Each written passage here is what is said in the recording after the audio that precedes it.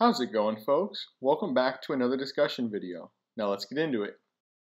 The Rough Riders, the Battle of Manila, the explosion of the USS Maine, and the Battle of San Juan Hill. The Spanish-American War endures in America's history as the Splendid Little War. The war saw the death of Spain's storied empire and the rise of a new American empire. The war went on to define the history of both nations in the decades that followed. While the United States had only been growing more powerful during the 1800s, Spain had been weakening throughout the same century due to political instability and an unwillingness to modernize their nation.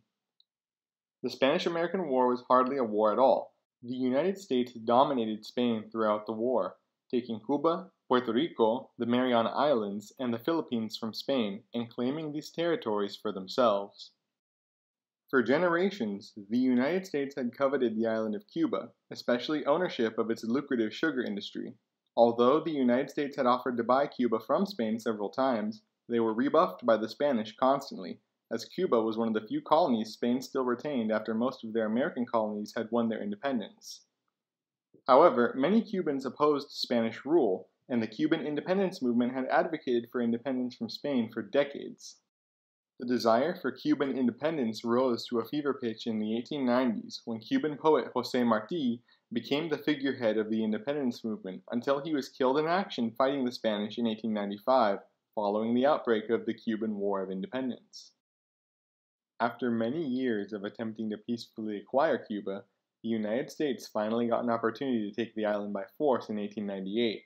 On February 15, 1898, an American naval vessel, the USS Maine, was docked in the harbor of the Cuban colonial capital, Havana, sent there to protect U.S. business interests as Cuban independence activists had launched a full-scale war of independence against Spain.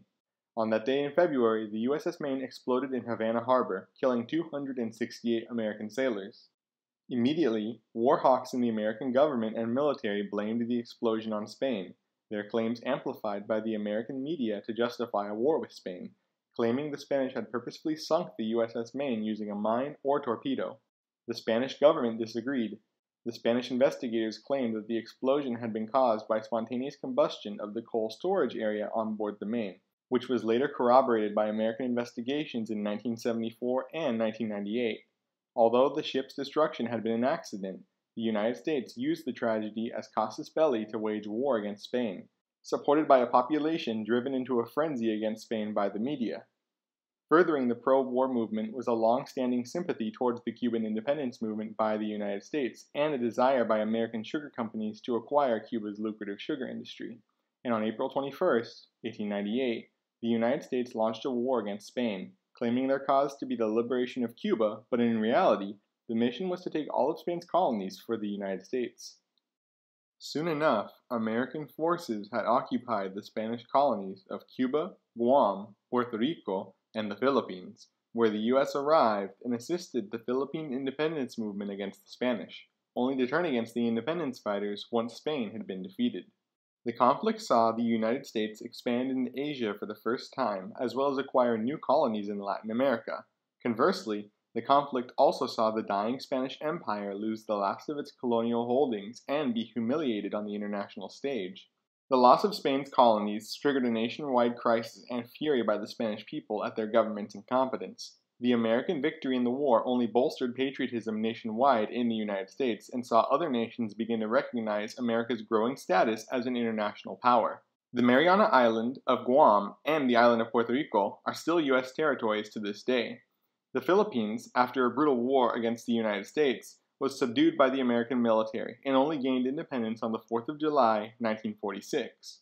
Cuba was granted de jure independence in 1902, but remained a client state of the United States racked by political instability and corruption until a communist revolution in 1959 saw Cuba break away from the United States under the dictatorship of Fidel Castro. The splendid little war saw Spain's colonies become American, but what if it had never happened? Let's find out. Our point of divergence is May 19, 1895. It was on this day in our timeline that one of the brightest political leaders of the Cuban independence movement, Jose Marti, was killed by Spain in the Battle of Dos Rios. During this battle, Marti made a grave error in judgment and commenced a two man cavalry charge against Spanish forces during the battle, and when he was spotted, he was immediately killed by Spanish soldiers. In an alternate timeline, however, let's say that Jose Marti decides not to do the cavalry charge, and thus survives the Battle of Dos Rios and retreats with his soldiers as the Cuban rebels still lose the battle as they did in our timeline, although Jose Marti is still alive. Following the defeat at Dos Rios, Jose Marti continues as a charismatic leader within the Cuban independence movement. Shortly after escaping the Battle of Dos Rios, Marti travels to the United States, where he was already very popular, and embarks on a major speaking tour, which ends with Marti securing a large amount of private funding for the Cuban rebellion. Upon his return to Cuba, Marti and other rebel leaders, now armed with weapons and funds from America, coordinate an escalation of the rebellion with Marti himself continuing as the movement's figurehead. Because of these better circumstances, many leaders of the independence movement, like Antonio Maceo Grajales, survived their skirmishes with the Spanish due to their newly acquired American weapons and a better organized intelligence service established by Marti to get intel on the movement of Spanish troops. Marti, Maceo, along with the famed rebel Generalissimo Maximo Gomez, worked together to free Cuba from the Spanish with popular support from many Cubans and strong American backing. Together, the three men managed to create an effective fighting force, and by May 1, 1897, the Cuban rebels had effectively pushed the Spanish out of all but a few cities across the island. Spanish Prime Minister Praxedes Mateo Sagasta reluctantly agrees to peace talks with the Cuban rebels, and on May 20, 1897, Cuba is granted independence from Spain. Mass protests break out in the Spanish capital of Madrid as Spanish troops withdraw from Cuba. Some are sent home, some are sent to be stationed in Puerto Rico, but most are redirected to the Philippines, where another independence movement is looking to topple Spanish rule. Meanwhile, in Cuba, Jose Marti becomes a national hero and proclaims the creation of the provisional government of the Republic of Cuba before a jubilant crowd in the capital of Havana. By 1898, there is no reason for the United States to send the USS Maine to Havana, and thus it never explodes in Havana Harbor. President Jose Marti guides Cuba through the years immediately following independence, and while he maintains a close and friendly relationship with the United States, he utilizes his political capital and positive image in the U.S. to prevent any attempts by U.S. big business to dominate Cuba and its economy. In 1900, the provisional government ends when Jose Marti and Antonio Maceo Grajales both win full terms as president and vice president of Cuba, respectively. Jose Marti goes on to rule the island nation of Cuba until 1908, when, after two terms in office, he leaves in a peaceful transfer of power to be succeeded by Vice President Maceo Grajales. Marti's lasting legacy within Cuba is a vibrant democracy and a good relationship with the United States. As he prepares to depart Havana on his last day in office, Marti is met by cheering crowds celebrating the first president of the Republic of Cuba. For the nation of Cuba, the legacy of a world without a Spanish American War is a sovereign island nation with a strong tradition of democracy, allied with the United States but not subservient to it. Without the explosion of the USS Maine, the United States is left without a casus belli to invade Cuba, and thus the Spanish American War never occurs. An important issue to be kept in mind during this period is that, in both timelines, current U.S. President William McKinley was very hesitant to wage war against Spain, as he himself suffered from post traumatic stress disorder stemming from his service in the U.S. Civil War nearly 40 years before. He only declared war when public opinion of him not doing so turned sharply against him. Without the Spanish in Cuba, under McKinley, the United States never wages war. Although the United States does not expand its territory in a splendid little war, the timeline does not change all too much for the nation. In 1898, Assistant Secretary of the Navy, Theodore Roosevelt, is eyed as a prime candidate for governor of New York by the Republican Party due to his progressivism and natural charisma. Roosevelt narrowly wins the 1898 New York gubernatorial election and goes on to become a popular politician defined by his charisma and willingness to stand up to corporations and political machines in an era that was defined by them. Roosevelt is nominated to be vice president in the 1900 Republican National Convention alongside President McKinley, and the two go on to win the 1900 election against Democratic candidate William Jennings Bryan. Six months into his second term, McKinley is assassinated leaving Roosevelt to assume the office of the president. Going forward, America's history is all but identical to our own, just without any wars in the Philippines or Cuba. As Cuba and the United States both celebrate peace and prosperity going into the 20th century, the same cannot be said for the Philippines. After losing Cuba, anger and humiliation gripped the people of Spain, who remained resolute that the Philippines will not escape their grasp as Cuba did. Spanish troops stationed in Cuba are mainly redeployed to the Philippines after Cuban independence and inflict heavy losses on the Filipino independence fighters. Concurrent with their massive troop surge in the Philippines, Spain works to censor information regarding their failures across Spain and her colonies. However, due to the distance between the Philippines and Spain, resupplying and reinforcing the Spanish military in the Philippines is difficult at times, which keeps the fledgling Philippine independence movement from being completely crushed.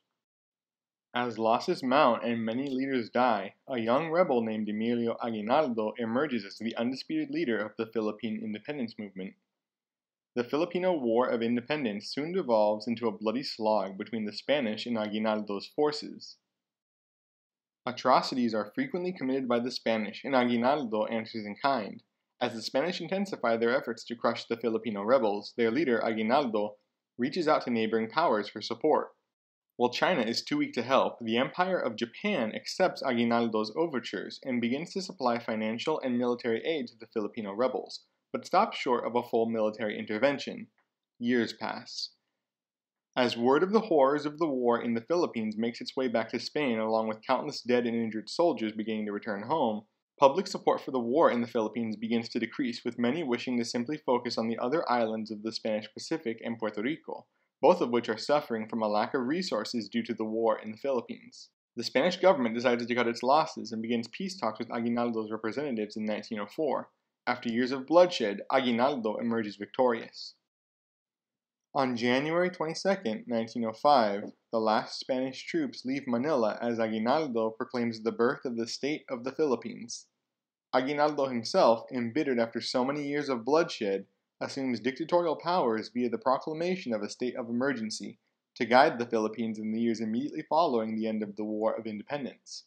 Although the state of emergency is due to end in 10 years, Aguinaldo decides to remain in office as dictator of the Philippines indefinitely, convinced that only he can shepherd the nation after the horrors of the war. Starting in 1920, Aguinaldo's government begins a strong diplomatic partnership with the Empire of Japan, which further down the road will have major consequences. For the nation of the Philippines, the legacy of a world without a Spanish American War is one of expedited independence, albeit at a tremendous human cost. The Philippines is defined by Aguinaldo's strong leadership that pervades nearly every facet of society, its national identity anchored to a burgeoning cult of personality that begins to emerge around the young leader in the years immediately following independence.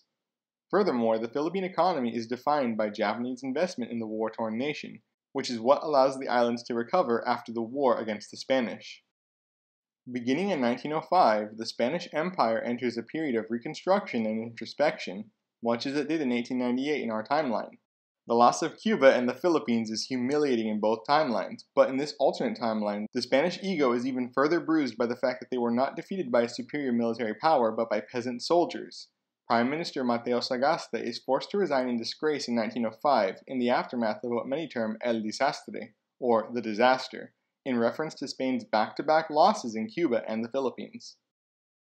Following Spain's calamitous defeat in the Pacific, the United States, eager to gain a foothold in the Pacific Islands and East Asia, successfully purchases the Marshall Islands from the German Empire, which expands its influence in the region beyond Hawaii and occupies the role Guam and the Philippines did for the United States in our timeline.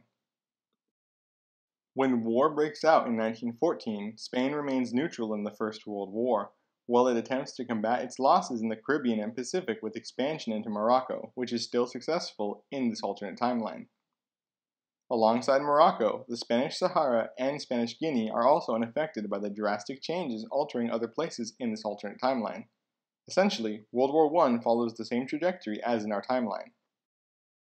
Aside from expansion into Africa, Spain also embarks on a series of reforms and new programs to shore up support and consolidate power in its remaining colonies. Puerto Rico is soon flooded with Spanish troops, with the government of Spain paranoid of the growing Puerto Rican nationalist movement inspired by similar movements in Cuba and the Philippines, which aims to foment a rebellion against Spain on the island. On January 1, 1911, General Miguel Primo de Rivera, a veteran of the Cuban, Philippine, and Melillan Wars, is installed by King Alfonso of Spain as the new governor of Puerto Rico in an effort to modernize Puerto Rico's infrastructure and economy, as well as eliminate the Puerto Rican independence movement. Primo de Rivera declares martial law across Puerto Rico and gets to work on modernizing the island to ensure Puerto Rico remains in Spanish hands. On January 11, 1911, just 10 days after Primo de Rivera took office, Puerto Rican independence activists attempt to incite a rebellion in the colonial capital of San Juan, hoping to exploit the government's weakness during the period of transition. However, Primo de Rivera was not to be caught off guard and unleashes the colonial military forces across San Juan, who engage in wanton killing and violence throughout any areas of the city with a rebel presence. 800 people die in what is later termed as La Masacre del 1-11-11, or the 1-11-11 massacre. From 1911 until his departure in 1919, Primo de Rivera's dictatorship forcefully modernizes the island of Puerto Rico and builds up its defenses to ensure the Spanish military will be able to combat any insurgency or foreign incursion. The native Puerto Ricans are heavily oppressed under the Primo de Rivera dictatorship, and any protests or signs of dissent are harshly cracked down upon. Thousands of Puerto Ricans are murdered or worked to death by the Primo de Rivera dictatorship in what is later remembered as the darkest chapter in the island's history. Because of Governor Primo de Rivera's violent and authoritarian rule, he does ultimately succeed in his goals for Puerto Rico. Primo de Rivera successfully modernizes the island's infrastructure and economy, bolsters its defenses, and decimates the local independence movement, termed El Movimiento Boricua. For the island of Puerto Rico, the legacy of a world without the Spanish American War is a world where Puerto Rico is an inalienable part of Spain, where the Spanish identity of the Puerto Rican people is reiterated at every turn, and where nationalist sentiments are ruthlessly suppressed by Spain, much like they were by the United States in our timeline. While Primo de Rivera had succeeded in bringing order to Puerto Rico, he is recalled to Spain in 1919, as the situation on the peninsula has deteriorated rapidly. In the aftermath of El Desastre, Spain has been plagued by political instability from the rise of anarchism and communism in many of its newly industrialized cities, as well as regional separatism in the Basque Country and Catalonia. Clashes between the beleaguered Spanish military and left wing forces frequently break out across the country. The violent confrontations are driven by the military sense of humiliation following El Desastre, as well as by the left wing forces' desire to have better working conditions, and in the case of Basque and Catalonian separatists, self governance. In 1919, after seeing Primo de Rivera's success in quelling dissent across Puerto Rico, the King of Spain, Alfonso, recalls Primo de Rivera to the mainland and immediately puts him in command of military forces currently combating a communist revolt in the region of Valencia. Under Primo de Rivera's brutal and charismatic leadership, the military manages to crush the Valencian revolt of 1919, the aftermath of which sees Spain's military begin to idolize Primo de Rivera. Frustrated that Spain's government since El Desastre has been so weak as to allow communists and separatists to run amok in Spain's cities, in the summer of 1919, King Alfonso soon gathers the most respected military leaders of Spain, led by Primo de Rivera, and instructs them to crush the weak democratic government and replace it with a dictatorship led by Primo de Rivera. On September 13, 1919, General Primo de Rivera launches a coup against Spain's democratic government, which sees the military seize many key cities and much of the country put under martial law as armed soldiers patrol the streets. When the government appeals to King Alfonso for help, he shocks them by instead appointing Primo de Rivera as Spain's new prime minister. Primo de Rivera goes on to dissolve the government by force and becomes the military dictator of Spain. As Primo de Rivera consolidates his power through appeals to a Spanish public tired of social unrest, he launches various initiatives similar to what he'd accomplished in Puerto Rico.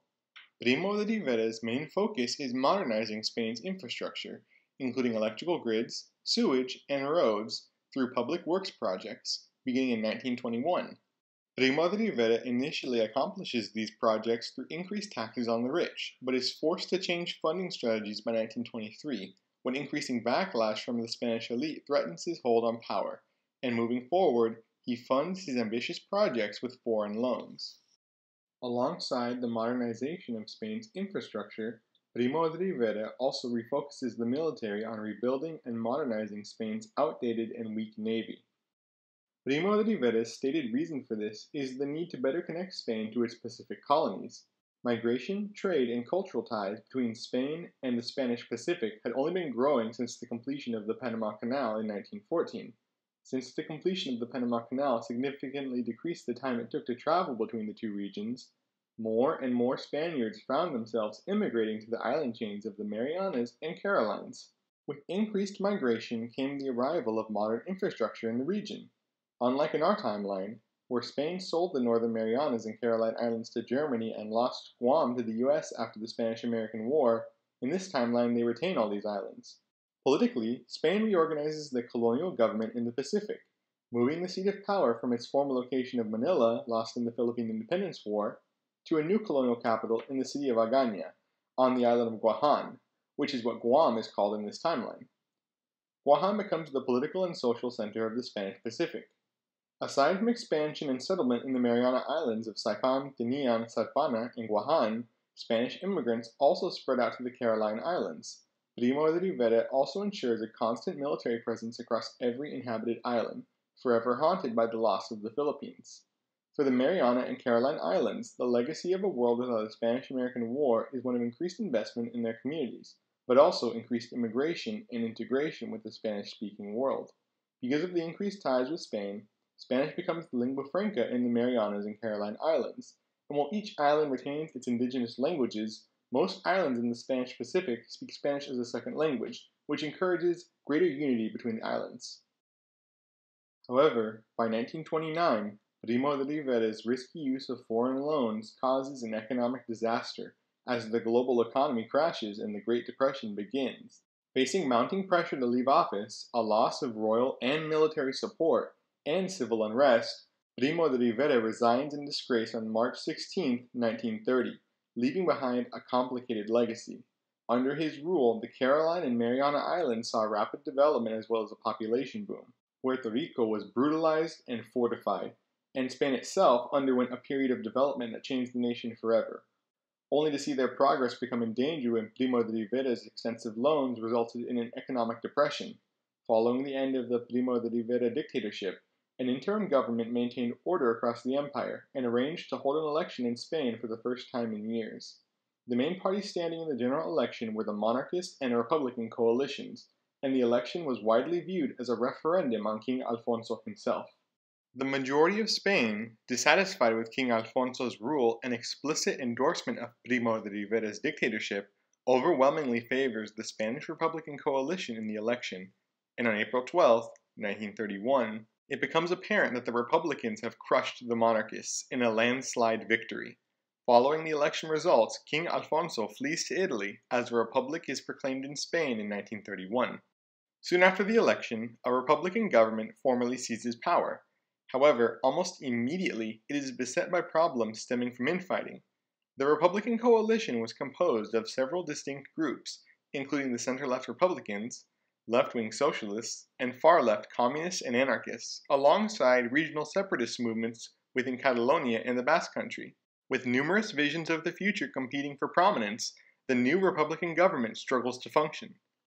Even worse, societal tensions flare as right wing traditionalists and militias clash with emboldened anarchists and communists across Spain. Among the extreme left of the Republican coalition, some begin to commit acts of violence against religious clergy, inciting fury amongst traditionalist Catholic Spaniards. On October 29, 1933, just as in our timeline, Jose Antonio Primo de Rivera, son of General Miguel Primo de Rivera, founds the Spanish Falange movement, influenced by German and Italian fascism and Spanish traditionalism. As the Spanish Republic's left wing government continues to falter from political infighting, Many begin to view the Republic as a weak institution beholden to communists and anarchists. This leads the Falange movement's numbers to rapidly increase, along with the ideology spreading rapidly through the Spanish military. In early 1936, Jose Antonio Primo de Rivera, founding father of the Falangist movement, is arrested and shot by Republican authorities, turning the ideologue into a martyr for the fascist cause. The Republic, whose leadership had long been consumed by inter-party chaos, struggles to maintain order following the death of Primo de Rivera. The left wing Popular Front coalition barely manages to win the 1936 general election, and the days following their victory are sullied by anarchists rampaging throughout the streets of Spain and the release of numerous political prisoners. Desperate to restore order and crush the anarchists and communists, Traditionalists, monarchists, fascists, nationalists, and the military conspire to overthrow the Spanish Republic and save Spain from what they view as further chaos. These groups together formed the Nationalist Coalition. On January 17, 1936, a coup is launched against the Republic by the Nationalists, whose military forces were mainly in Spanish Morocco at the time. While the Republic retained control of most of the nation, they lose critical areas in southern Spain, allowing the Nationalists to ferry their army into the Iberian Peninsula. Furthermore, the conservative leading colonial governments in Puerto Rico and the Spanish Pacific soon pledged fealty to the nationalist cause. With the outbreak of the conflict, the far left demanded that the government arm the workers to combat the nationalists. However, due to more governmental infighting, these crucial first days following the uprising were squandered, as the coup attempt quickly deteriorated into civil war. For three years, the nationalist forces, led by General Francisco Franco and supported by Fascist Italy and Nazi Germany, fought against the Republican forces, led by Juan Negrin and supported by the Soviet Union and countless international volunteers. Throughout the war, massacres become frequent as the nationalists work to remove potential future threats to their regime and the Republicans seek to commit reprisals. The nationalists benefit from strong leadership under General Franco while the Republic suffers as the alliance between the communists, anarchists, and Republicans weakens every day. In 1938, the Republic's forces suffer a disastrous defeat at the Battle of the Ebro, which sees the Nationalists gain the upper hand in the war. Following their defeat at the Ebro, the Republic suffers a complete military collapse of the northern and northeastern areas under Republican control. In February 1939, Catalonia, long a major base of Republican support, falls to nationalist forces in what many correctly viewed as the beginning of the end for the Spanish Republic. With the fall of Catalonia, the nationalists now controlled much of the country, while the Republicans only held on to key cities in eastern and central Spain, including the capital, Madrid. Throughout the war, Prime Minister Juan Negrin had further chipped away at Spanish democracy by taking on further dictatorial powers and was an extremely unpopular leader as a result. Many saw Negrin as having aspirations of being a communist dictator, and the government's reputation suffered accordingly.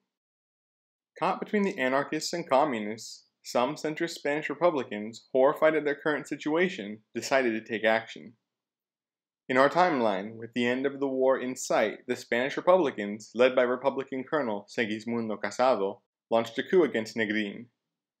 Negrin insisted that the war was winnable and that the Republic should continue to fight, while the Republicans saw that the war was unwinnable and overthrew Negrin to negotiate a peaceful surrender to Franco's nationalists and avoid further bloodshed, thus ending the Spanish Civil War with a total victory for the nationalist cause, with Spain under the totalitarian regime of General Franco, which would only end with his death in 1975, after which Spain finally transitioned to democracy. However, in this alternate timeline, a completely different series of events begins to unfold. Furious and out of patience with Prime Minister Negrin's delusional belief that the Republic could still win the war, on February 12, 1939, a group of Republican dissidents forms El Consejo Nacional de Defensa, or the National Defense Council. The National Defense Council, later known as the Casadistas, is not formed to surrender to Franco, as in our timeline, but instead with the stated aim of ensuring the Republic's survival at any cost. Colonel Segismundo Casado is recruited to lead the group, just as in our timeline, and is the source of the group's nickname, the Casadistas. Casado immediately begins to draft a contingency plan. Luckily for the Casadistas, throughout the war, most of Spain's naval vessels were retained by the Republic, as were many commercial vessels off Spain's eastern coast. Likewise, much of the Spanish Navy's enlisted servicemen had also sided with the Republic. Accordingly, Casado and the Casadistas draw up plans to evacuate mainland Spain and set up a government in exile. The Balearic Islands, Canary Islands, Spanish Morocco, Spanish Sahara, and Spanish Guinea are all suggested as possible readouts for the beleaguered Spanish Republic. However, Casado rejects all of these locations due to the fact that firstly, their populations are either extremely pro-nationalist and would be difficult to subdue, or they are too close to the Spanish mainland, and Franco would be able to reach them there. Casado states that the Republic needs a place to go and recuperate temporarily, in anticipation of a future reclamation of the mainland. Then, one of the coup plotters brings up the possibility of Puerto Rico. Far away from the Spanish mainland, the current Puerto Rican colonial government is very pro Franco, but the population is not. Many Puerto Ricans despise the current colonial government due to its links to the Primo de Rivera dictatorship. While the Puerto Rican nationalist movement is moribund, there remains animosity towards the Primo de Rivera dictatorship and the terrors of Spanish colonialism in Puerto Rico. Casado recognizes that this animosity could be exploited to facilitate regime change in Puerto Rico, and decides that the Spanish Republic should make its last stand there. The rest of the National Defense Council agrees, and on February 19, 1939, the Casadistas begin planning an evacuation from the mainland to the island of Puerto Rico. On February 21, 1939, Casado sends out representatives to both the American Embassy in Madrid as well as the Mexican Embassy in Madrid to relay his plans to Presidents Roosevelt and Cardenas, both Republican sympathizers. Casado also sends undercover agents to Puerto Rico to gauge local support for a general uprising to remove the colonial regime and install a Republican one. When briefed on the situation, President Franklin Delano Roosevelt of the United States and President Lázaro Cárdenas of Mexico decided to covertly support Casado's plans for a government in exile in Puerto Rico. On March 1, 1939, Casado's agents returned from San Juan with good news. They have identified and contacted several key individuals willing to lend their support for a pro Republican uprising, including General Pedro Albizu Campos, a politically minded military figure who is the highest ranking indigenous Puerto Rican in the island's military, and Blanca Canales, a major activist within the workers' and women's rights movement on Puerto Rico. Albizu and Canales agreed to organize an uprising in San Juan to divert the military's attention away from any imminent threats, allowing the Republicans to land in Puerto Rico and have the element of surprise. With support for their coup secured from all pertinent parties, on March 10, 1939, the Casadistas launched their coup against Negrin throughout Republican controlled Spain. The Casadista coup succeeds due to growing anti Negrin sentiment, and Colonel Casado takes effective control of the areas still under Republican rule by March 11. Negrin and his government are successfully captured and quickly executed as the Casadistas purge the government of communists and break off their alliance with the anarchists. Global analysts are baffled, as is General Franco. Why would the Republic attack itself just before its loss? However, Colonel Casado soon surprises everyone as his plans become apparent. On March 15, 1939, the Spanish Republic's expeditionary force departs from the Republican port city of Alicante and manages to execute a breakout through the Strait of Gibraltar, the few ships under Franco's command are unable to counter the Republic's naval superiority. This first fleet of ships paves the way for many more to come. Colonel Casado, now acting as the wartime leader of the Republic, assumes emergency powers not too dissimilar to Negrin's, albeit with a radically different goal. A general evacuation order is put out to all Republicans and their families, and the Republican military shifts its strategy from combating the Nationalists to engaging in a tactical retreat. Casado has the national treasury in Madrid emptied and loaded onto numerous vessels at the port of Alicante. However, the voyages to Puerto Rico are often a week to two weeks long and military oriented, and accordingly, many Republicans flee to France to catch a commercial ship to the Caribbean from there instead. On March 21, 1939, Republican forces make landfall in Puerto Rico. Although the island was fortified long ago, the nationalist military presence on the island had suffered from the repeated reassignment of soldiers to fight on the mainland. The Battle of Puerto Rico begins that same day. Adding to the nationalists' woes is a massive revolt of native Puerto Rican soldiers and civilians against the nationalists led by Pedro Albizu Campos. Albizu Campos' uprising rocks the Puerto Rican capital of San Juan, just as early reports come in that Republican troops have made landfall in the port city of Fajardo. Together, by the skin of their teeth, the Republic's forces and Albizu Campos' rebels managed to topple the colonial government of Puerto Rico. Following the cessation of hostilities on the island, a deluge of Spanish Republican refugees from Spain and France arrive. While at first the refugees number in the tens of thousands, eventually the total number of refugees reaches 500,000 people. The most notable of these exiles is the famous Spanish artist Pablo Picasso. Although he continues to spend most of his life in France, as in our timeline, he also maintains a residence in San Juan, Puerto Rico. As a symbol of support for the Republican government, Picasso allows his famous anti war painting, Guernica, to be displayed at the Museum of Art of Puerto Rico under a long term loan. Later on, Picasso would lend his services to the Republic and serve as an advisor for the production of propaganda. As the evacuation efforts continue, the Casadistas fight to buy more time. Likewise, during this time, the anarchist and communist movements resort to guerrilla warfare against both the nationalists and Republicans. After nearly two months of prolonged bloodshed, on May 1, 1939, Colonel Casado declares that the government and military have done all they can, and that evacuation efforts will cease by the end of the month. With this news, any remaining Republicans on the mainland make a desperate rush towards the port of Alicante or the French border. On May 7, 1939, the city of Madrid falls to General Franco's forces. As the nationalists pour into the devastated city, they find it empty, much like the National Treasury building. Colonel Casado had personally remained in Madrid until the day it fell to direct its defense with fellow members of the National Defense Council. With his family and much of his government already in Puerto Rico, Casado's personal plane takes off from Madrid Barajas Airport just as the airport's perimeter is breached by nationalist soldiers.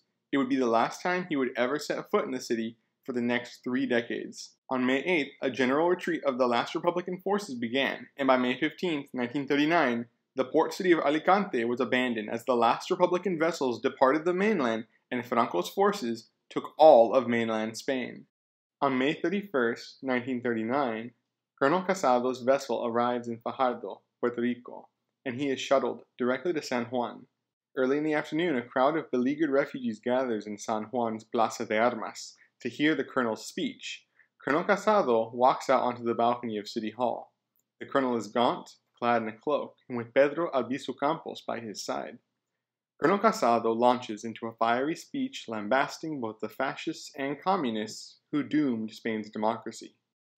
My fellow citizens of the Republic of Spain, today, as I look out into the crowd, I see many faces faces of uncertainty, misery, and hopelessness. In the course of every great nation, their fortunes have ebbed and flowed. This is not the first time the Spanish people have had to endure a hardship. What true son of Spain could ever forget when the Moors conquered our lands and our culture was nearly annihilated, or when our empire collapsed before our very eyes? And now another dark time has washed over our people. But the Spanish people and their republic have shown their ability to endure. In just a few months, you all managed to evacuate the true patriots of Spain to safety here in Puerto Rico. Franco and the fascist bandits he commands have only momentarily triumphed thanks to his masters in Rome and Berlin. The sad fact is that right now, our compatriots across mainland Spain are beholden to foreign interests, but this will not stand. From our new home here in Puerto Rico, we will retake the mainland. We will rebuild our armies and the institutions they serve. We will ensure that every inch of Spanish land is illuminated by the light of democracy, and we will never surrender to the whims of the fascist butchers. Long live the people, long live the workers, long live the Republic, and long live Spain. Following Casado's speech, the crowd erupts into cheers. Casado's speech at the Plaza de Armas would later go down in history as one of the most monumental speeches in Spanish history. For many Puerto Ricans who'd risked everything in the uprising, they feel secure knowing that they made the right choice. For Casado's loyal Republicans, the speech instills in them much needed hope for their current situation. Casado wastes no time in ensuring that his speech was not simply empty words. Throughout June 1939, he works to instill stability across Puerto Rico. For his first act as the Republic's head of state, he uses the gold taken from the national treasury to stabilize the Republic's currency, the peseta, which was suffering from extreme inflation due to the Civil War. Then he immediately negotiates food aid treaties with Mexico and the United States in order to accommodate Puerto Rico's population, which has drastically increased in a short period. Next, order is restored as Republicans and natives fill vacant positions within the island's government and institutions. Captured nationalist soldiers are repatriated or voluntarily defect to the Republican cause. An unexpected ally for the Spanish Republic, now referred to in the English speaking world as Free Spain and the Spanish speaking world as España Libre, comes in the form of Cuba. In the 42 years since its independence from Spain, Cuba has emerged as a middle power within the Caribbean, much of the animosity towards Spain has since faded amongst many Cubans, and now the people of Cuba wish to aid Free Spain after its devastating loss. Cuban President Carlos Prío Socarrás launches an outreach program to help restart Free Spain's trade network and rejuvenate its economy. Furthermore, after a state visit to Havana by Segismundo Casado on June 15, 1939, the two nations sign a treaty to allow Free Spain to freely send conscripts to be trained by the Cuban military. After all, even though Francisco Franco's regime currently lacks the naval or monetary resources to retake Puerto Rico, Casado's regime will need a modern and effective military presence to deter Franco in the future, but cannot currently train the necessary number of men due to a lack of military instructors and infrastructure. Cuba fills this void and aids Free Spain.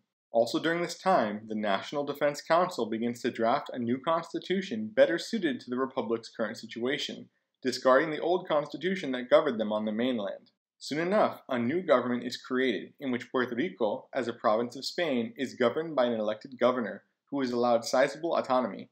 In turn, the governor answers to a democratically elected unicameral legislative cortes, drastically downsized from its mainland counterpart. However, the position of president is temporarily abolished, with executive power held by the National Defense Council, which is granted this authority within the new constitution during periods of national emergency. Accordingly, in June 1939, Colonel Segismundo Casado declared a national emergency across Free Spain, implementing a new governing document alongside the new constitution, titled The Temporary Provisions Effective During the Period of National Mobilization for the Suppression of the Fascist Insurrection. Through this document, the chairman of the National Defense Council, which is himself, functions as Spain's executive and head of state. With this new constitution approved in a referendum held across Puerto Rico in July 1939, a follow up provincial election is held on August 5, 1939, which sees the Spanish Reunification Party, a coalition party of Spanish Republican exiles and Puerto Rican politicians, sweep the election, gaining a supermajority in the Cortes in San Juan. To the joy of Puerto Ricans across the island, Pedro Albizu Campos is elected as the first governor of the province of Puerto Rico, while Blanca Canales is elected as president of the Cortes. And so it would be that the Spanish Republic achieved full democratic suffrage locally whilst under the authority of an unelected military strongman, Colonel Casado. With its situation rapidly stabilizing, many countries continue to recognize the Republic of Spain as the sole legitimate government of Spain, including the United States, Canada, Mongolia, Ethiopia, the Soviet Union, as well as every single nation in Latin America. Unfortunately, all of Europe breaks off relations with the Spanish Republic, instead choosing to recognize, while not necessarily approving of, Francisco Franco's Spanish state. The rest of 1939 is spent expanding Puerto Rico's infrastructure and agricultural industry to support the massive influx of refugees from the mainland. However, once more, the fortunes of Casado and his republic are destined to change, and in retrospect, Historians credit Casado's rapid response in stabilizing the republic with saving it as a whole.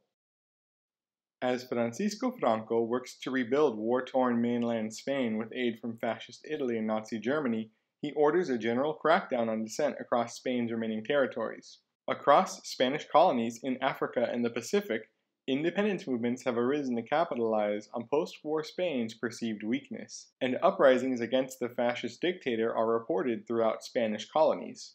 Franco is furious with the developing situation and blames the uprisings on perceived American and Mexican interference in Spanish affairs, and lambasts Free Spain's allies for what he terms as splitting the magnificent Spanish nation in half. In Agaña, the heart of the Spanish Pacific, a spontaneous protest breaks out on October 1, 1939, following the shooting of an unarmed young man by fascist soldiers. The protests soon developed into a full-blown riot in support of independence from Spain as colonial authorities in the Pacific scrambled to prevent an uprising or general strike. Following Franco's new policies of zero tolerance for dissent, soldiers are deployed to the epicenter of the protests in Agaña's Plaza de España, a massive town square in front of the Spanish Pacific Governor's Palace.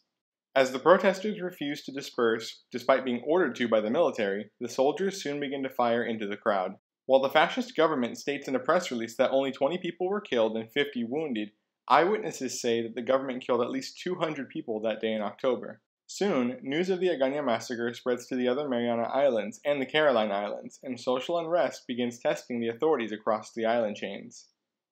By October 8, 1939, reports emerged that Franco's regime has put down at least five more uprisings whose casualty estimates are unavailable but assumed to be high. Across the free world, condemnations of fascist Spain's actions in the Spanish Pacific pour out as demonstrations of solidarity with the islanders are held throughout Puerto Rico. Colonel Segismundo Casado, however, sees an opportunity not only to grow his area of influence, but also to end the bloodshed in the Pacific and earn a much needed win for the Republican cause. On October 15, 1939, Segismundo Casado undertakes a covert visit to Mexico City to meet with Mexican President Lázaro Cárdenas and U.S. Ambassador to Mexico Josephus Daniels. During the Mexico City meeting, Colonel Casado makes a convincing argument that the Spanish Republic should be allowed to annex the Spanish Pacific to end the bloodshed there and prevent the situation from deteriorating further. Furthermore, Casado argues, only the Republican exile in Puerto Rico is close enough to affect change in the lives of the islanders and bring democracy to them. President Cardenas is convinced by Casado's argument and agrees to lease the Free Spanish government a small concession in Baja California's port of Ensenada to use as a staging ground for military operations in the Pacific, while Josephus Daniels promises to relay the developing situation to Washington and gauge if any further aid for a military expedition could be provided. A week later, a telegram for Casado is received in San Juan from Josephus Daniels, Although no further military aid can be provided, the Spanish Republicans are given assurances of safe passage through the Panama Canal, with further assurances that the canal will be closed to any Spanish nationalist vessels seeking to cross through. Furthermore, the U.S. port of Pearl Harbor in Hawaii has been notified that the Spanish Republic will be deploying several fleets to the Marianas and has informed the Spanish Republican Navy that they will be allowed to refuel and restock in Hawaii on their way to the Marianas.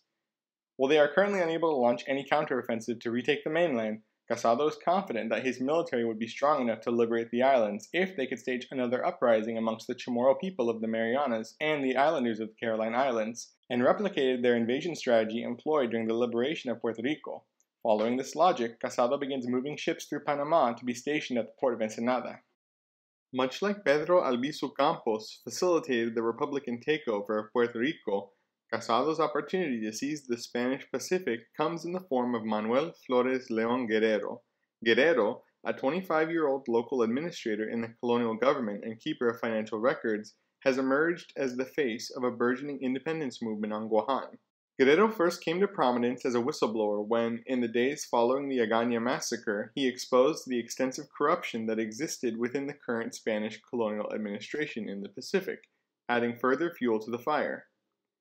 Guerrero was able to publish his evidence in the Spanish Pacific's biggest newspaper, El Pacifico, showing that the funds intended to be used for infrastructure, healthcare, and other vital sectors of society for the islands were instead being redirected by Francisco Franco's new fascist government to cushion the economic blow suffered by the Spanish elite in the aftermath of the Spanish Civil War.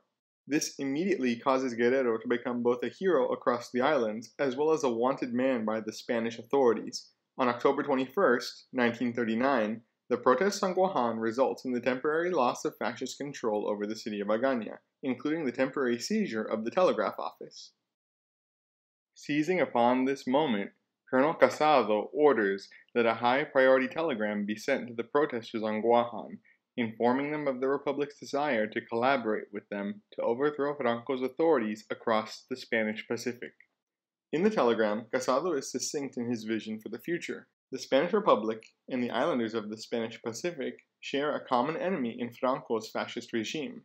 However, he also notes that Guerrero and his allies are currently pursuing immediate independence from Spain and do not wish to see Franco's brutal regime replaced with Casado's regime, as either way, the Spanish Pacific would not be independent.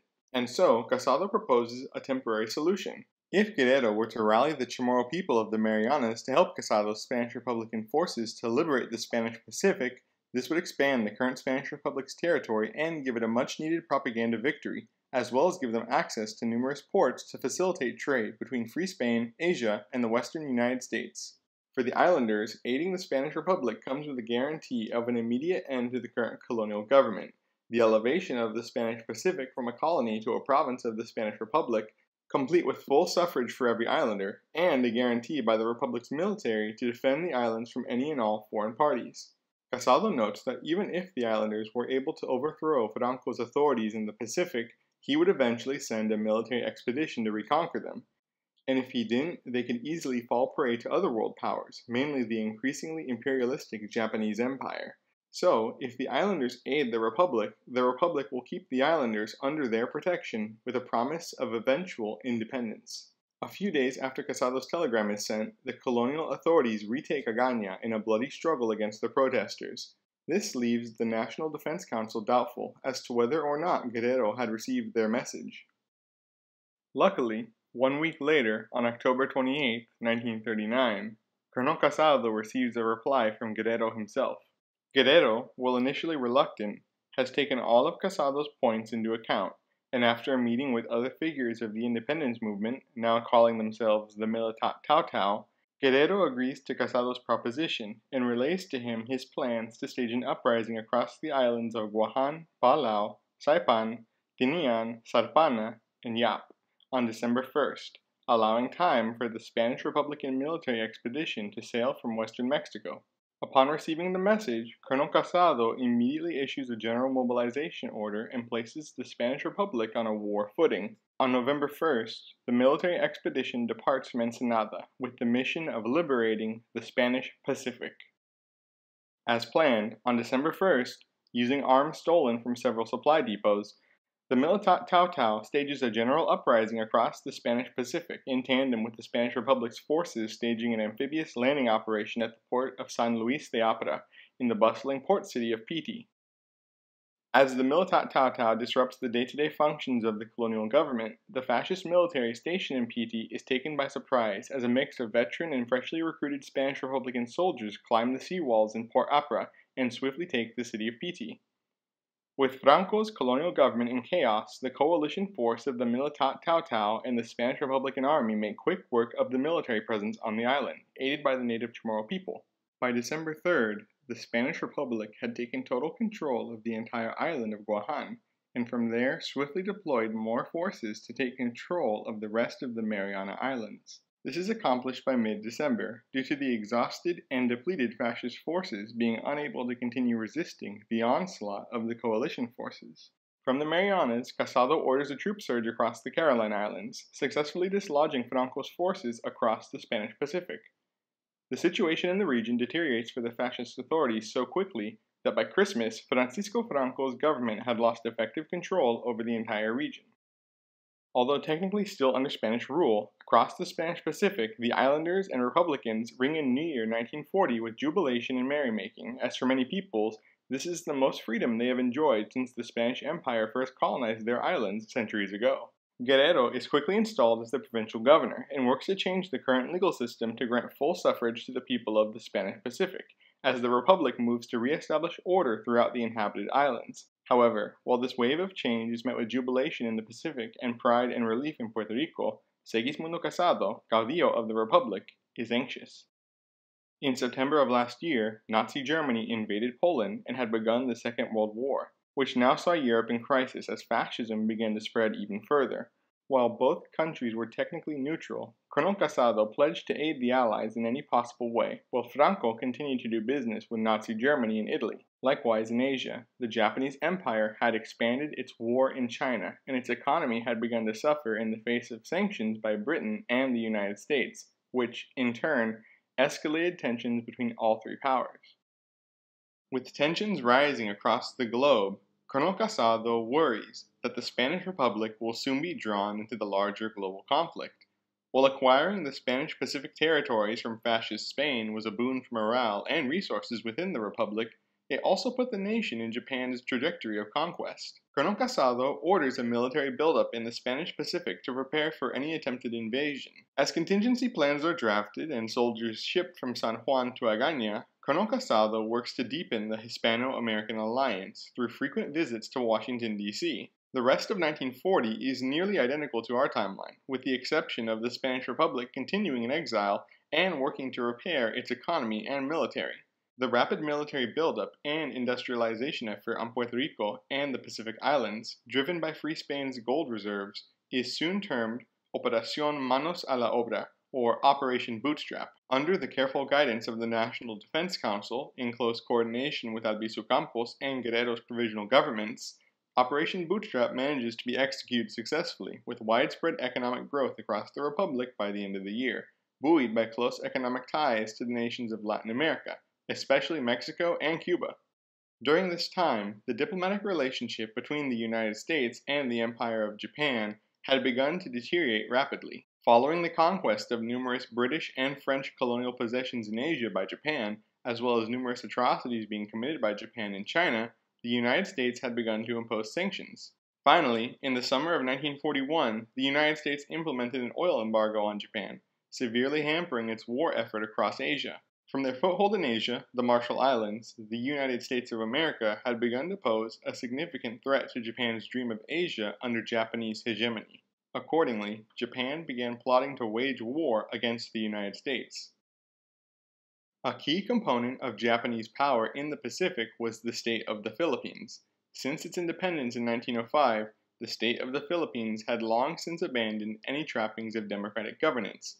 Emilio Aguinaldo, the leader of the Philippine independence movement, had cemented himself as the supreme leader of the Philippines, and over the past few decades had overseen the creation of a dictatorship on the island nation. Heavily militarized, the Philippines had only grown closer to Japan since its independence, and the closeness of the Filipino Japanese relationship was a source of anxiety for many regional powers in Asia. In the summer of 1940, the Japanese Empire announced the creation of the Greater East Asia Co-Prosperity Sphere, with Japan, Manchukuo, and the State of the Philippines as its founding member states. In accordance with their new alliance, Aguinaldo allowed Japanese troops to be stationed in the Philippines, a measure he framed as a necessary concession to retain the Philippines' independence from the Western colonial powers. However, the Japanese military quickly earned themselves a negative reputation in the Philippines due to their negative views of the locals and propensity for violence. In reaction to this flagrant violation of the Philippines' national sovereignty, a military revolt, fomented and funded by the Allies, broke out in the Philippines in hopes of igniting a civil war. At the helm of the revolt is Philippine Army Captain Ramon Magsaysay, who announces that the military revolt's aims are the restoration of the Philippines' national sovereignty and democracy. However, the revolt is nowhere near the size needed to dislodge Aguinaldo's regime. Aguinaldo chips away at the revolt's support amongst the citizenry by framing Magsaysay as a Western puppet, and in coordination with the Japanese troops stationed in the islands, Aguinaldo is successfully able to crush the revolt and remain in power. With Magsaysay and his inner circle in danger of execution, the United States offers the surviving Filipino rebels asylum as they flee their homeland. However, not wishing to damage their diplomatic relationship with the Japanese further at this moment, the United States uses its leverage as Free Spain's largest benefactor to have Colonel Casado take in the rebels in the Spanish Pacific. This successfully delays the outbreak of war between Japan and the US in 1940, but causes Japan to sever diplomatic relations with Free Spain and recognize Franco's regime instead. With the Philippines preparing to aid in the expansion of Japan's empire, the United States remaining steadfast in its sanctions on Japan, and the islanders, Republicans, and Filipino exiles fortifying themselves in the Spanish Pacific, 1940 draws to a close with a massive military showdown in the Pacific on the horizon between Free Spain, the United States, and the Japanese Empire. A high point for the Republican forces in the Spanish Pacific comes in mid 1941 when the Spanish Minister of Defense, Field Marshal Vicente Rojo, arrived in Agaña without notice, sent to the Pacific by Colonel Casado in order to take direct command of the province's defense in the event of an attack. Aside from Free Spain continuing to prepare for the outbreak of war in cooperation with the United States, 1941 more or less follows the same trajectory as our timeline until December 7, 1941. On this day, the Empire of Japan launches a surprise attack against both the United States and the Spanish Republic. The Japanese launch an invasion of the Marshall Islands, bomb Pearl Harbor in a failed attempt to weaken the United States naval power in the Pacific, and bomb the Mariana Islands to weaken the Spanish defenses in preparation for a future land invasion. Air raid sirens come alive across the Spanish Pacific as Nakajima bombers and Zero fighters soar over the islands. Apra Harbor where the Spanish Republic had made landfall two years prior, takes the brunt of the assault as it is where the Spanish Republic's main Pacific fleet is located. Within minutes of the Japanese surprise attack being launched, Apra Harbor, along with most of the Spanish fleet, is soon completely ablaze, and martial law is declared across the Spanish Pacific by Governor Guerrero. Following the contingency plan drafted in cooperation with Colonel Casado, Guerrero issues an order allowing the supplying of arms to every able-bodied citizen of the Spanish Pacific. Likewise, that same day, an evacuation notice is sent out across the Caroline Islands. If the Spanish Pacific is to survive the coming onslaught, they cannot stretch themselves thin defending every island from the Japanese. Governor Guerrero reasons that if they are to stand a chance, the Republic must make its stand on Tinian, Saipan, Sarpana, and Guahan, as the four core islands boast the best fortification and infrastructure to be able to resist the invaders. Within 24 hours, news of the attack on the Pacific reaches the capital of San Juan. Colonel Casado convenes an emergency meeting of the National Defense Council, wherein they firstly discuss their relief at Guerrero's leadership thus far in executing the contingency plan. Casado informs the council that he has spoken with the American ambassador and that a small detachment of American naval forces will be deployed to Puerto Rico to deter Franco's forces should his government enter the war on the side of the Axis powers. Likewise, a more robust fleet of Cuban vessels is en route already to aid in a potential defense of Puerto Rico. Although they did not know it at the time, the fascist regime on the mainland was incapable of waging war against any nation, and the feared invasion of Puerto Rico would not occur. The real fight would be in the Marianas. By December 8th, the province of the Spanish Pacific is in chaos, evacuation orders being issued across the Caroline Islands, soldiers being shuttled to various locations in the Marianas, trenches being dug, signal lights being set up, and barricades being erected, as per the order of Field Marshal Vicente Rojo. Aiding Rojo in the defense of the Marianas is Captain Ramon Magsaysay. Magsaysay's Filipino rebels wish to repay the kindness of the islanders by aiding them in any way possible, and Magsaysay's experience and tactical mind are hugely beneficial to the Republican military authorities in the Marianas. Unlike in our timeline, where the United States military garrison on the Marianas was defeated by the Japanese in the three days following the attack on Pearl Harbor, in this timeline, the massive Spanish military presence on the island forces the Japanese to spend more time preparing an invasion, and thus the Marianas remain in free Spanish control going into 1942. After the initial surprise attack, the Spanish Republicans enjoy a brief respite to regroup and focus on the fortification of the Marianas and the evacuation of the Caroline Islands.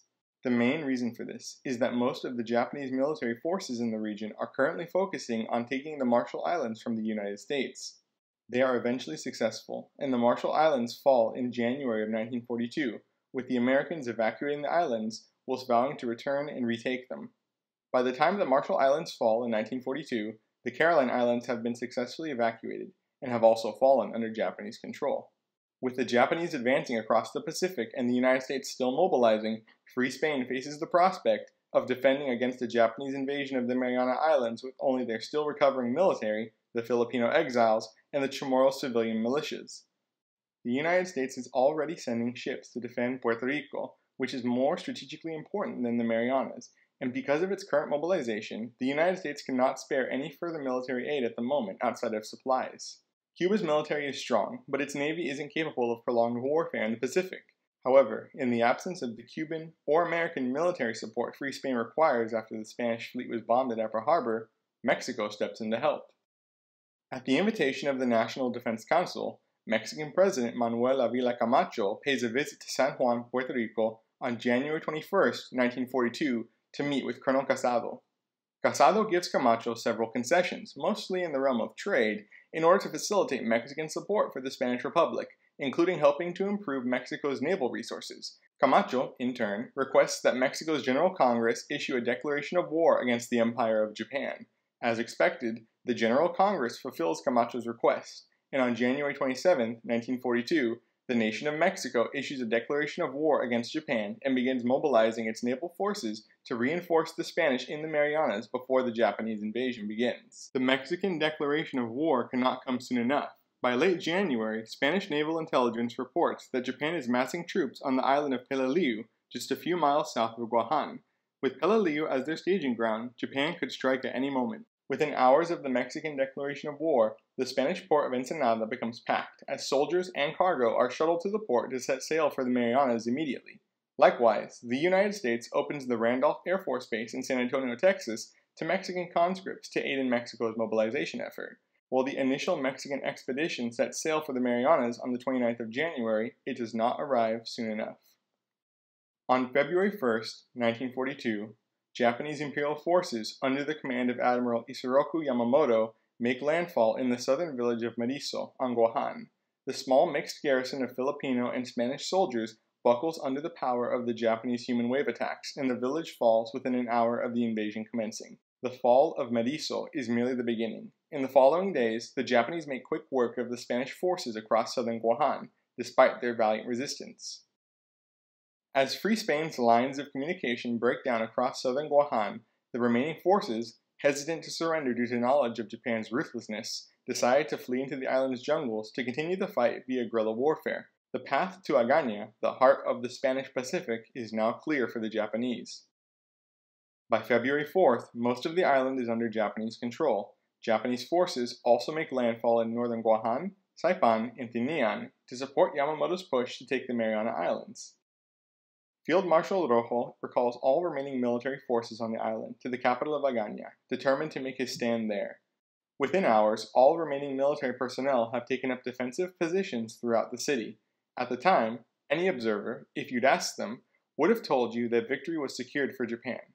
However, what Field Marshal Rojo was about to accomplish was a shock to everyone. Field Marshal Rojo had left certain parts of the city with only token defenses in an effort to lure the Japanese into a trap. With the south and east undefended, the Japanese army quickly pushed toward the city. However, just as they breached the outskirts, Field Marshal Rojo launched a counterattack from the jungles north of the city, cutting off the invading forces in the city outskirts from their forces still on the roads outside the city. The defenders fought the battle as if it were their last, one eyewitness later recalled. From there, Rojo launched an encirclement of the Japanese on the roads, crushing them with a ferocity that stunned even the most hardened Japanese commanders. While naval support would have turned the tide of the battle, the Japanese Navy, who infamously hated their army counterparts, refused to aid the army in stopping the counterattack, confident in their capabilities to take the city themselves after the army was crushed. However, as the Japanese offensive lost its momentum, the invading force, who'd fought to the death, were crushed, leaving Free Spain victorious in what war historians would later term the Miracle on the Rio Agaña. While Agaña was successfully defended, the Spanish still had their work cut out for them in terms of retaking the island. Spanish artillery managed to repel the naval assault as order was restored to the capital, and Field Marshal Rojo ordered a counteroffensive to repel the northern Japanese offensive there, which the defenders managed to achieve with the assistance of Governor Guerrero's Militat Tau Tau militias scattered throughout the island. From there, the weakened Japanese forces in the south are pushed back as well, aided by the guerrilla fighters in the jungles. While a costly endeavor, Spain manages to hold on to Guahan, but just barely, retaking the last parts of the island on February 11, 1942. However, Saipan and Tinian have fallen to the Japanese, and reports from survivors fleeing to Guahan indicate large-scale atrocities being committed by the Japanese against prisoners of war. While disturbing, at this moment there is nothing that the Spanish can do. Field Marshal Rojo sends a telegram to San Juan informing Colonel Casado of Spain's losses. While they have held Guahan, they will not survive another Japanese offensive. Luckily for Spain, intelligence indicates that despite the loss of the Northern Mariana Islands, Japan is currently having to reassess its priorities as the United States prepares a large summer offensive in the Pacific. Because of this, Guahan will most likely be safe from a counterattack for the next few weeks. After nearly three weeks of preparation for another counterattack, on February 27, 1942, Field Marshal Rojo's reinforcements arrive, comprised of freshly trained Spanish and Mexican recruits, as well as veteran Mexican naval forces. Using this to his advantage, throughout spring 1942, Field Marshal Rojo is able to defend Guahan from further Japanese offensives, becoming a thorn in the side of Tokyo and a national hero to the peoples of Free Spain. In April and June, further reinforcements arrive as the military leadership in San Juan realizes that Franco has all but abandoned his plans for retaking Puerto Rico, at least for the time being. With this realization comes a reorientation of national defense priorities, putting the defense of the Spanish Pacific first. Because of this, Cuba also begins sending troops and military aid to the port of Ensenada to reinforce the Marianas. Because their navy isn't capable of warfare in the Pacific, the Cuban Expeditionary Force, commanded by Colonel Fulgencio Batista, is transported to the Pacific via Spanish and Mexican vessels. The war's major turning point for Free Spain comes in June 1942, when the Japanese Empire suffered a crippling loss at the Battle of Midway, and the United States began to dislodge the Japanese across the Pacific Islands. Following the Japanese defeat at Midway, Field Marshal Rojo launched two simultaneous counteroffensives to retake Saipan and Tinian, catching the Japanese, who'd focused the majority of their Pacific resources on fighting the United States, off guard. A large component of the recapture of the Marianas was the Maquis. The Maquis was the name later given to groups of Spanish, Filipino, and Islander guerrilla soldiers who fled into the jungles of Saipan and Tinian and prevented the Japanese from ever establishing complete control of the northern Mariana Islands. The Maquis would later go down in history, commended for their valor in the liberation of Saipan and Tinian, as well as their role in evacuating civilians to their jungle outposts to save the population from Japanese atrocities. The entire Mariana Island chain is successfully retaken by coalition forces under Field Marshal Rojo's command. However, even now, the coalition is not strong enough to dislodge the Japanese from the Caroline Islands, painfully realizing this after several disastrous offensives. Content with their success in liberating the whole of the Marianas and evacuating the Carolines, the Spanish Republic spends the rest of 1942 recovering from the defense of the islands, all while the United States continues to make progress in the Pacific War and Japan becomes further bogged down across Asia.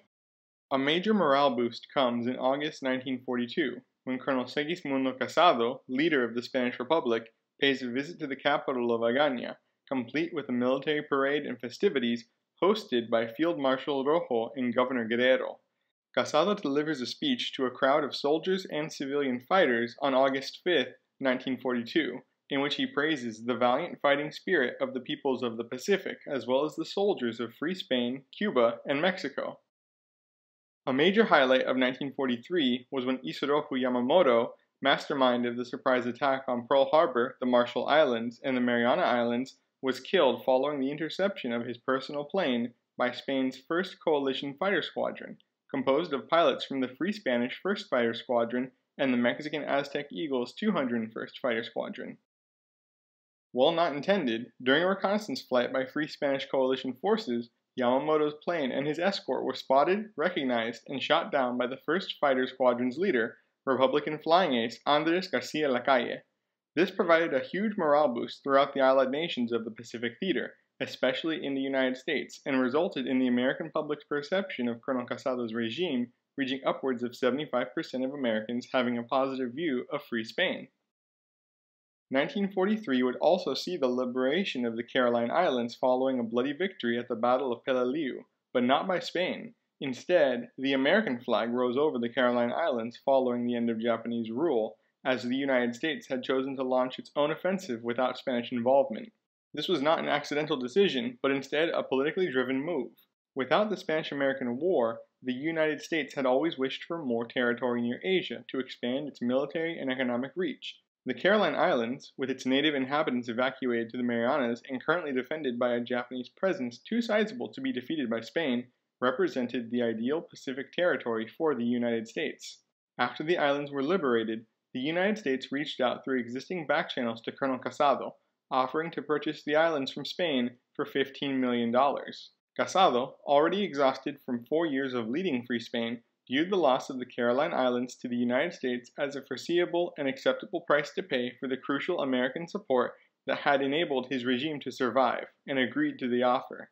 In late 1943, Colonel Casado announced that Spain had sold the islands to the United States for $15 million, stating that the loss of the sparsely populated islands would be compensated with sufficient funds to rebuild the war ravaged Mariana Islands. The reaction was muted in Puerto Rico, where interest in the far-off islands was limited to the exploits of its defenders. On the Pacific Islands themselves, however, the Spanish Republic faced the first real challenge to its rule when thousands of Caroline Islanders began to protest across the Marianas, protests which had to be put down by force. While violence was kept to a minimum, unlike those during the time of Franco's brief rule of the islands, the Caroline Purchase remained a black mark in the history of the Spanish Pacific, the Caroline people themselves, and the Spanish Republic although, in retrospect, many argued that had Casado refused, the United States would simply have annexed the Carolines anyway. Soon enough, 1944 had arrived, a crucial year for the Allies of World War II.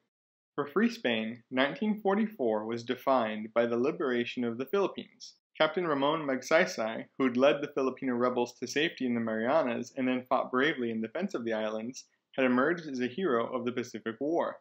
The United States made plans for him to be installed as the future leader of the Philippines after Aguinaldo's pro-Japanese regime was defeated.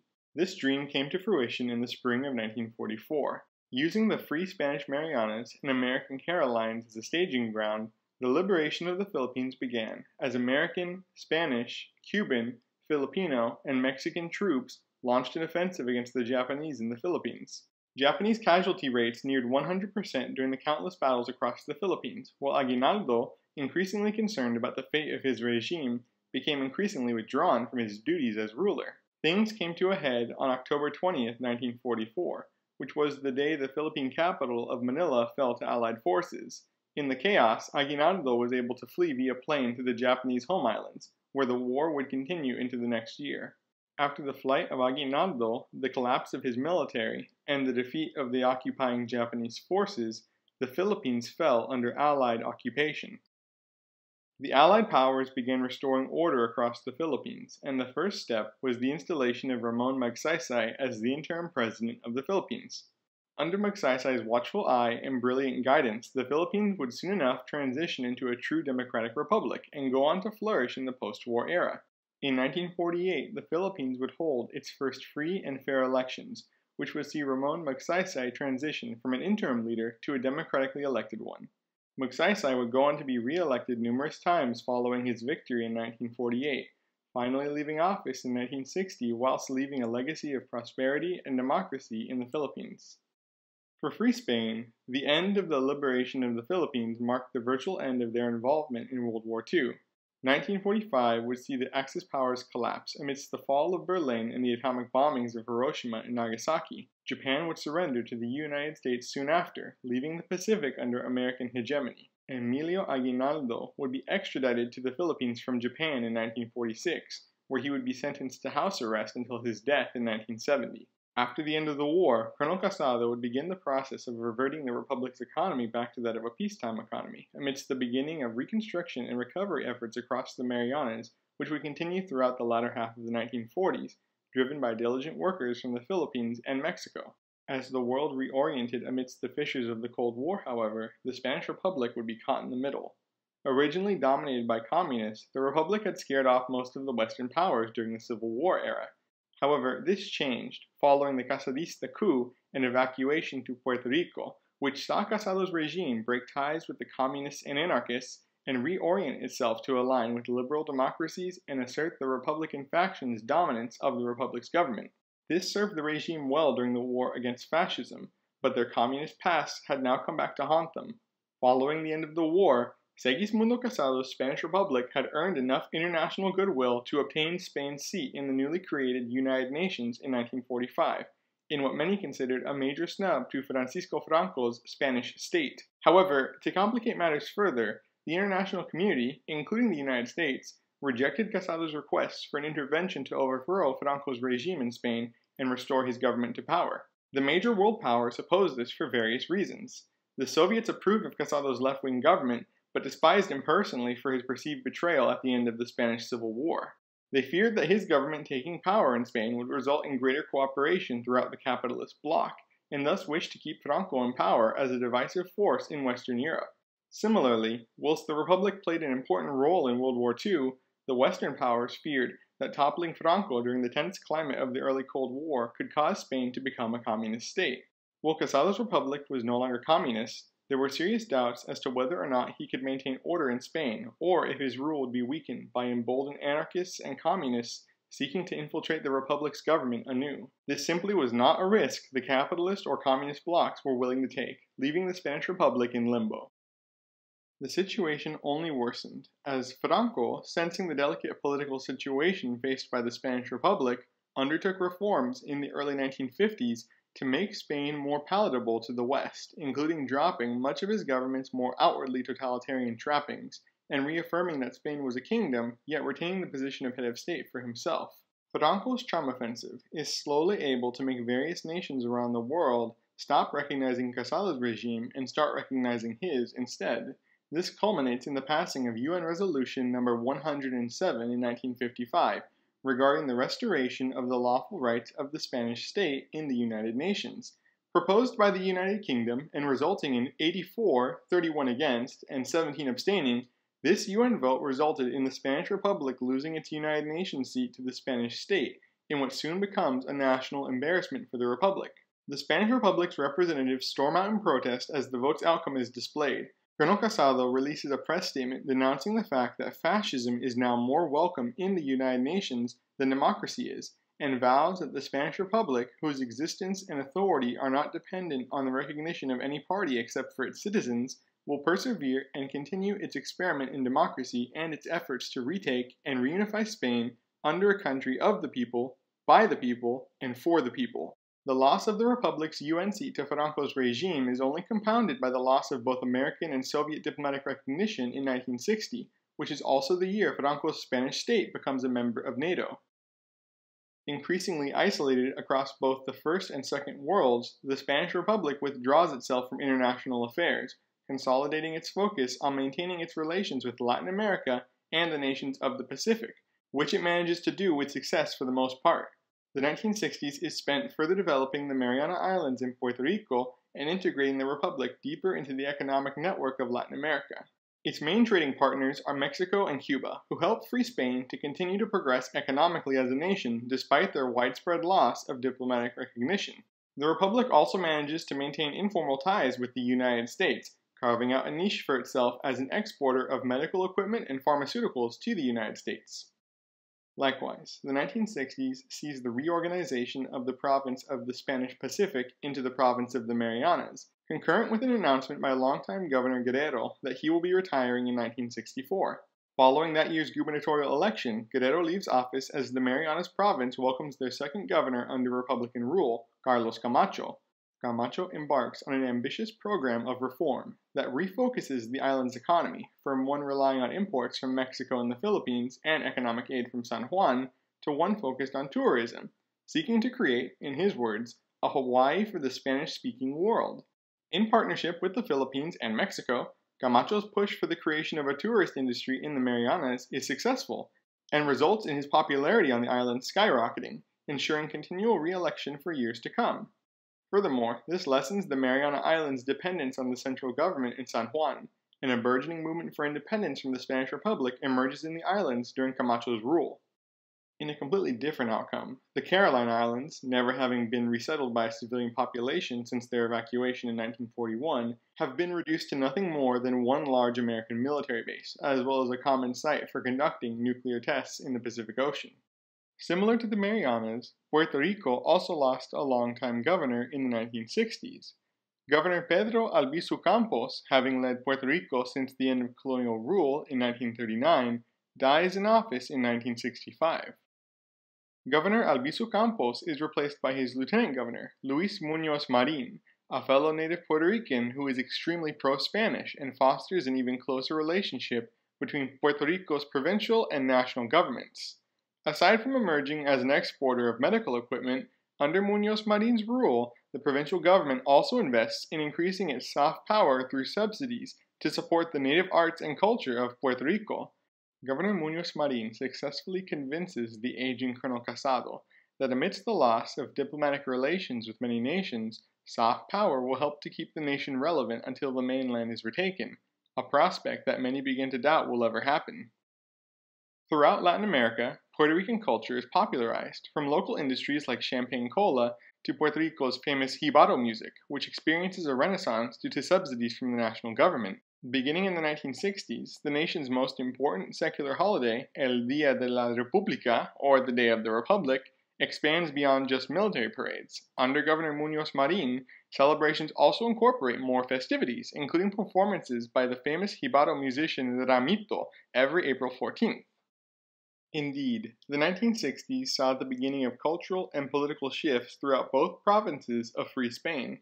However, one unchanging presence throughout all of this was the colonel himself. Now in his 70s, Casado still retained his complete mental faculties and resisted calls for him to step down, maintaining that he had successfully led the Republic for nearly three decades and was not about to stop leading the nation now. Colonel Casado remained a very popular figure in both Free Spain and Latin America as a whole, with frequent spontaneous demonstrations breaking out across Puerto Rico in support of the nation's aging leader. A frequent slogan of the era was Ahora más que nunca, casado, casado, casado, or now more than ever, casado, casado, casado. At the same time, Colonel Casado remained pragmatic and began to accept the fact that Spain may never be reunified under his terms or even in his lifetime. Yet he remained committed to ensuring that the two free provinces of Spain would never fall under fascist rule. With Franco's health failing, Casado remained determined to outlast his old rival. The 1970s would be the last decade with a divided Spain. Free Spain rang in the 70s with a cautious hope for the future, as the economies of the Marianas and Puerto Rico had both grown comfortably over the past decade. Colonel Casado, now almost 80 years old, was determined to show the world that the Republic of Spain was still powerful. In this pursuit, he planned a massive extravaganza to celebrate the Republic's 40th anniversary on April 14, 1971. 1971's Dia de la República celebration was the largest celebration ever of its kind. Under Casado's orders, military drills and parades were held in Saipan, Puerto Rico, Tinian, and Guajan. Musical performances of both indigenous and Spanish musicians were held across the nation as a martial parade was held in the main streets of San Juan and Agaña. Observers noted that Casado, appearing with Puerto Rican Governor Munoz Marin and Mariana's Governor Camacho at the San Juan parade, appeared to be in good health, and the 1971 parade reignited discussions of Spanish reunification in various international discourses, including subdued discussions in mainland Spain. Casado's wish to outlive Franco would be granted. Throughout 1975, Franco's health began to fail him, and on November 20, 1975, Francisco Franco, dictator of mainland Spain, passed away aged 82. Franco's handpicked successor as head of state was the Prince of Spain, Juan Carlos I. Franco had picked Juan Carlos in hopes that the young man would continue his authoritarian regime for decades to come, and many external observers, including the Casadistas in San Juan, believed that Juan Carlos would merely be a continuation of Franco's rule. However, in a shock to the people of both Spains, as King Juan Carlos took power after Franco's death and was crowned King of Spain, he began to introduce reforms to transform Spain's form of governance from an authoritarian dictatorship to a constitutional monarchy. His motivations were multifaceted. King Juan Carlos wished to democratize Spain to continue its economic growth, as well as hopefully begin reunification talks with the ardently pro democracy republic in exile in Puerto Rico. Segismundo Casado weighed his options carefully. While the republic had originally been created in response to the unpopular rule of King Alfonso, he saw that not only was the new king partial to democratic rule, but he embraced it. Although it would mean the dissolution of his authority, if the free provinces would remain democratic as well as the mainland, he saw no reason to continue the now needless division of the two Spains. To the surprise of many, in January of 1977, after the initial reforms by the king had been implemented and elections had been called, Colonel Casado, along with several members of his cabinet and a security detail, made the journey from San Juan to Madrid, setting foot on the mainland again for the first time in decades. Colonel Casado had arrived as a guest of the king and was invited to a closed door meeting with Spain's monarch. Colonel Casado soon took a liking to the young sovereign, and reunification discussions were amicable. The king made several assurances to Casado during their meetings. 1. Colonel Segismundo Casado would be recognized officially as a former Spanish head of state and would be allowed to relocate to Spain with his family at his earliest convenience. He would also be buried in Spain with full military honors if he so wished. 2. The military of the Republic of Spain would be integrated into the Royal Spanish Army, with every enlisted man retaining his current rank or the Royal Army's equivalent rank. 3. The current provincial government in Puerto Rico would retain its current powers and personnel, and Governor Munoz Marin would remain in power at least until the next election. 4. King Juan Carlos I would remain committed to democratic rule, and fascism would never again rule over Spain. 5 the Kingdom of Spain would honor Casado's previous agreement with the Mariana Islanders. With the end of inter Spanish hostilities, the people of the Mariana Islands would be free to decide their own destiny with an independence referendum. Following these assurances by the king, negotiations came to an end as Colonel Casado returned to Puerto Rico in order to seek the permission of the National Defense Council and the Republic's unicameral Cortes. After delivering news of the king's assurances, both the National Defense Council and Legislative Cortes approved two documents a reunification agreement with the Kingdom of Spain and a bill allowing for an independence referendum in the Marianas, which was simultaneously approved in the mainland's Cortes Generales in March of 1977. Soon after, preparations for reunification began, as the National Defense Council disbanded and Colonel Casado resigned from his position as head of state.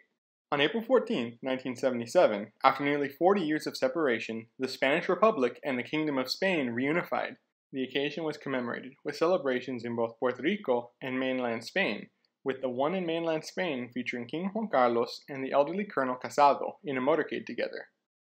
On May 1, 1977, a free and fair independence referendum, presided over by Governor Camacho, was held in the Marianas province. With an overwhelming 85% vote for independence, the province of the Marianas voted to become a sovereign nation independent of Spain, effective immediately.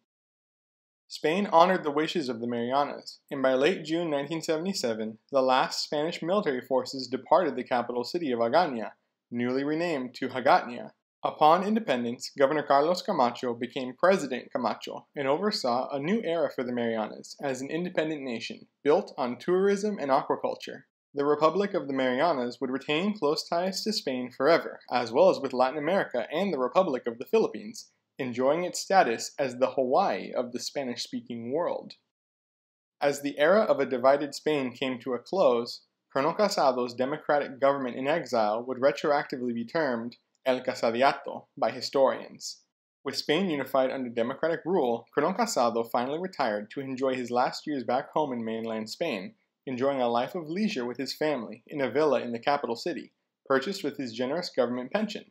Colonel Casado was often known to take walks around the bustling capital, taking in the sights and seeing just how much his beloved homeland had changed since he had left so many years before. In October of 1980, Colonel Casado embarked on his last visit to Puerto Rico at the invitation of Governor Munoz Marin to celebrate his 87th birthday, along with a large crowd in San Juan, before returning to mainland Spain soon after due to ill health.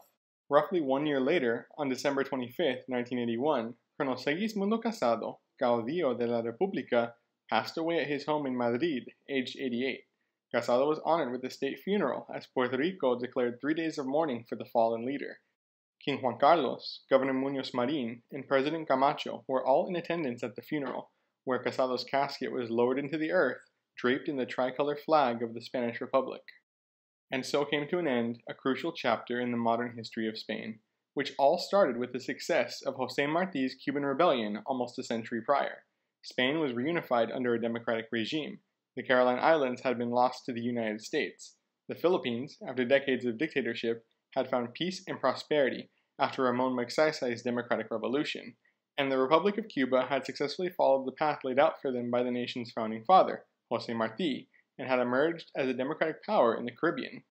As for Puerto Rico, it had been a long and tumultuous journey, with both good and bad.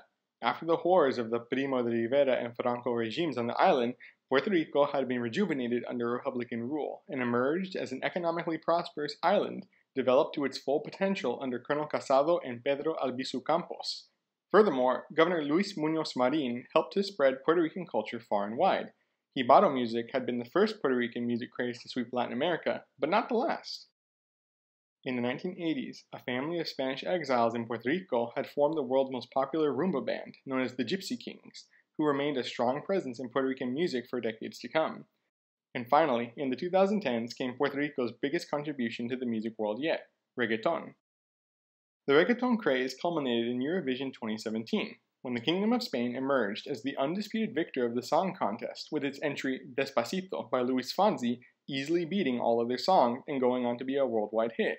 And just as Puerto Rico's culture was a strong cultural touchstone for Spain, Spain remained committed to Puerto Rico and its people, in September 2017, Hurricane Maria devastated the island of Puerto Rico and killed thousands. Thankfully, though, the Kingdom of Spain was quick to respond and devoted billions of euros to the recovery efforts on the island, bringing both the mainland and Puerto Rico closer together in the aftermath. And so ends the story of a world where the Spanish American War never happened.